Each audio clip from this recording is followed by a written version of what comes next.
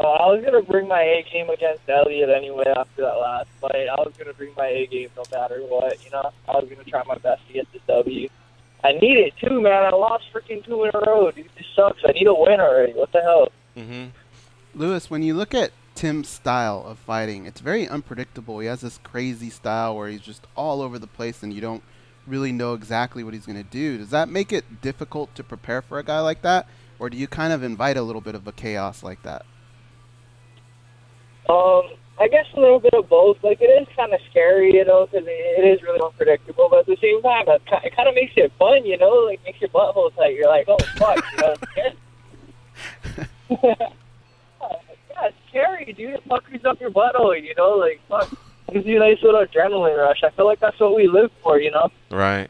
Like one of my favorite things is when you're in the pocket and you're exchanging, and like a guy like throws a punch and it whizzes right by your face, and Uh-huh. you're like, and it like it really scares you because you're like, oh man, like two inches to the right, and that would have knocked me out. Like that's one of my favorite things. Like, oh, I barely got out of the way of that. There are still those critical moments where you do freak out, you know, like the pivotal moments.